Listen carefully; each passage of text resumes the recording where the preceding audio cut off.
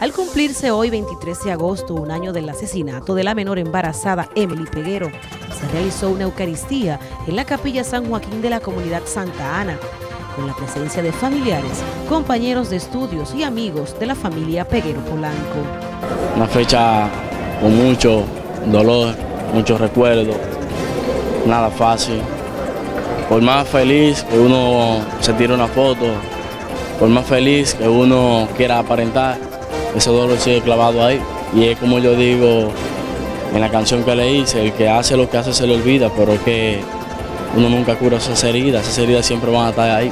Adalgisa Polanco, madre de Emily, con evidente nostalgia, manifestó ante los medios. Un año desde día a día, muy duro. No hay un día que yo no haya llorado a mi hija.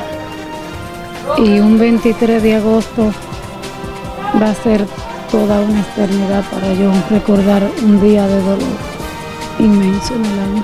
¿Qué siente Adalgisa al ver a los dos verdugos de su hija en el banquillo de los acusados? Nada. Yo no siento nada, no siento odio. No puedo odiarlo. Siento un profundo e inmenso dolor de saber que deposité la confianza en ellos y me defraudaron. Podrían defraudarme a mí, pero no a Dios. A él lo quería como un hijo, no porque era hijo de doña Marlene Martínez, sino porque se crió entrando y saliendo a mi casa y le di el cariño de madre que su madre nunca le dio. Luego de este proceso tan difícil, ¿estaría Adalgisa Polanco dispuesta a mirar de? Siempre la miro y ella no me da su mirada. Tengo el valor para mirarlo de frente y ellos sabrán con mi mirada qué le quiero dejar dicho. No siento odio por ello. De su lado, Genaro Peguero continúa exigiendo justicia y condena para los culpables del crimen. Darle gracias a Dios por todo.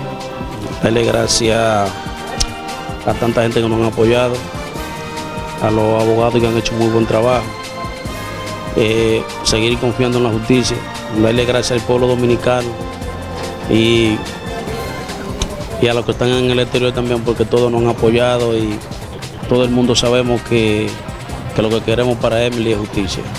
En el marco de la Eucaristía, diversas manifestaciones se hicieron presentes como muestra de apoyo a este hecho que ha consternado al país y también al mundo.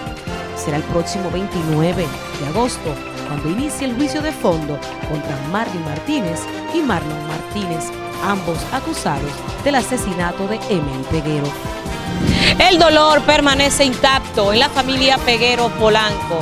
El clamor popular y a nivel nacional e internacional a una sola voz continúa exigiendo justicia. Para NTN reportó Joanny Paulino.